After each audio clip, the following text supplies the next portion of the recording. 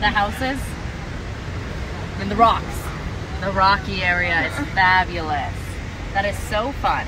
So I see that you have a lot of darks, and I love that you even added the green. So many people don't notice that there's green in the water. Um, Very